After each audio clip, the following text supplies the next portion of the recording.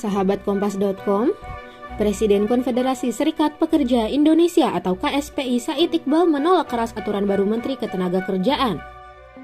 Peraturan itu berisi manfaat jaminan hari tua atau JHT baru bisa diklaim pekerja saat memasuki usia 56 tahun. Menurut Said, aturan ini merugikan buruh, terutama jika terjadi pemutusan hubungan kerja atau PHK.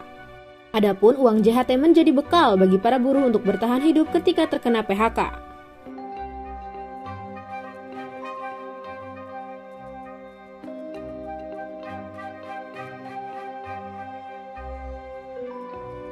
Menteri Ketenagakerjaan Ida Fauziah menekan peraturan Menteri Ketenagakerjaan nomor 2 tahun 2022 tentang tata cara dan persyaratan pembayaran manfaat JHT hanya dapat dicairkan jika usia peserta BP Jam Sostek mencapai 56 tahun. PJS Deputi Direktur Bidang Hubungan Masyarakat dan Antar Lembaga BP Jam Sostek Dian Agung Senoaji menambahkan, hal ini sesuai dengan UU nomor 40 tahun 2004.